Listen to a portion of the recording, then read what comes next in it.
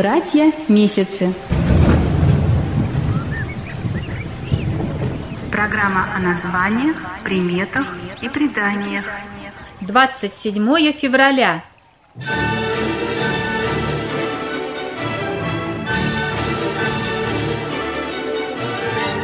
По одному из древних календарей славяне в этот период отмечают День бога Велеса.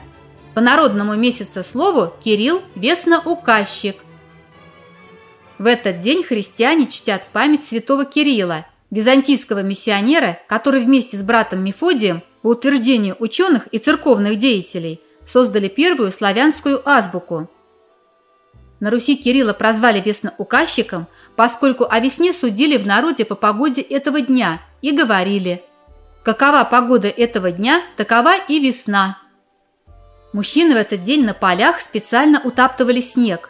В старину крестьяне старались удержать снежный покров, чтобы, растаяв, он напитал почву влагой. На Кирилла также говорили «снег оседает, поля уточняет». В некоторых регионах помимо утаптывания снега на поля и огороды вывозят навоз.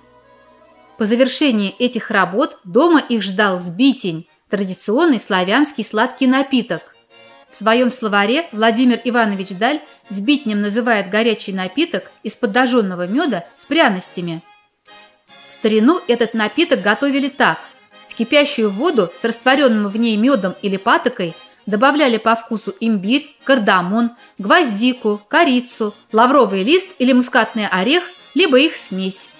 Предки почитали его за целебные свойства, хотя у каждой хозяйки был свой рецепт приготовления сбитня.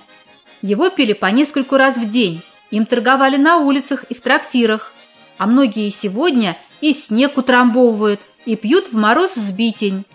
Особенно популярен был этот напиток зимой и в промозглые, хмурые дни, когда его разносили в медных чайниках-самоварах, укутанных в одеяло, чтобы не остыл. Сбитни бывают простые и заварные. К нему подают пряники, пирожки, печенье, баранки. Сбитень можно пить не только горячим, но и холодным. Еще одно название этого дня – «Бабьи взбрыксы», старину на Руси в этот праздник женщины несли гостинцы повитухам, которые принимали у них роды. Мужья готовили для жен пиво, от слова «пить», питье. Воду брали из семи святых источников, смешивали ее с местной водой и в золотой ступе толкли серебряным пестом. Такое пиво, поддерживающее здравие, жены относили повитухам с пожеланием многих лет, в благодарность за то, что они дали возможность войти в мир людей новым светлым душам. Утаптывание снега в огородах и походы с благодарностью к повитухам – дела важные, да и за погодой наблюдать тоже стоит, а потому люди примечали. Сколько на поле снега, столько в амбаре будет хлеба. Если на Кирилла тепло и солнечно, значит скоро могут ударить морозы.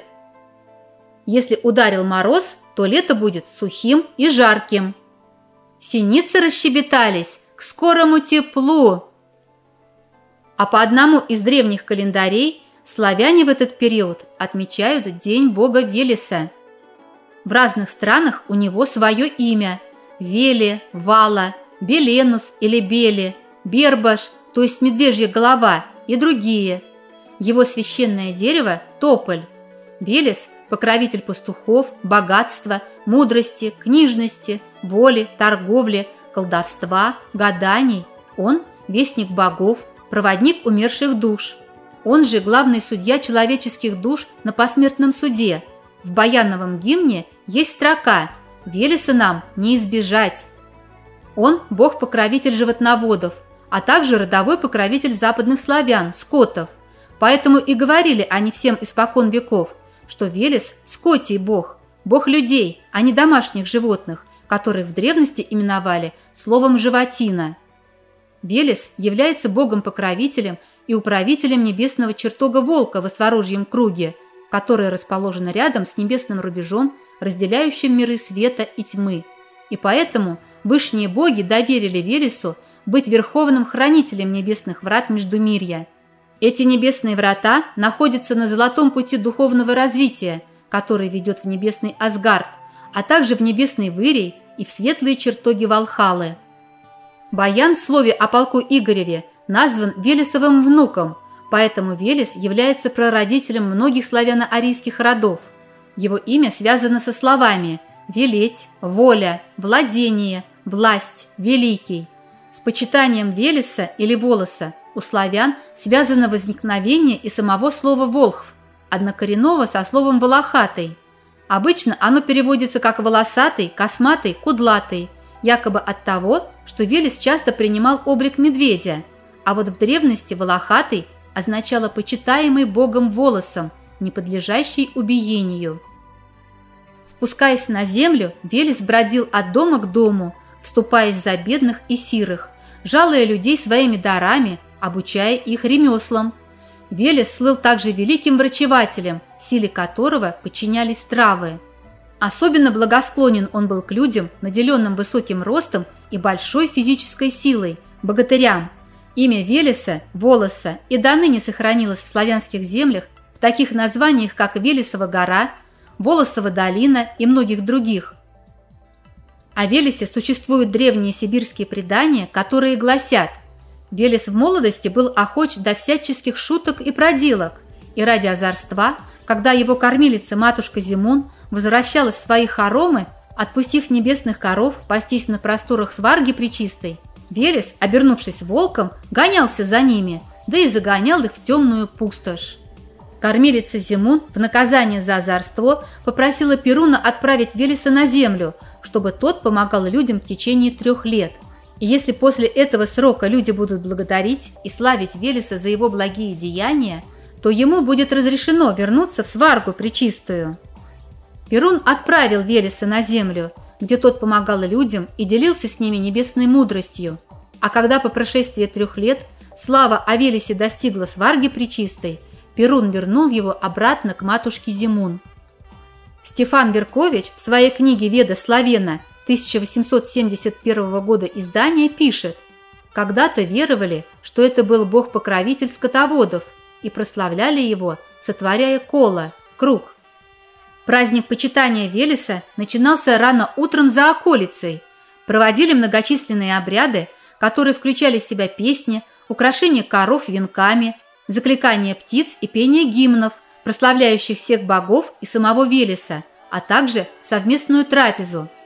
После проведения обрядовых действий юноши и девушки отгоняли коров в село, и праздник продолжался уже там – в этот день обязательно украшали венками также и свои жилища, пекли печенье, пироги и пышки в виде фигурок птиц и животных, жертвовали их богу Велесу, да и сами ели. Рассыпчатым печеньем кормили птиц. Одну пресную пышку сушили и оставляли на целый год. И если какая животина заболевала, то ей в еду добавляли крошки от этой велесовой пышки в качестве лекарства.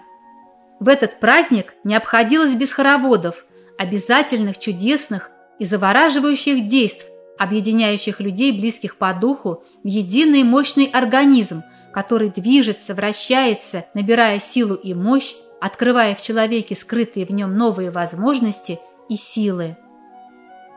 Велесу, покровителю родов наших, слава!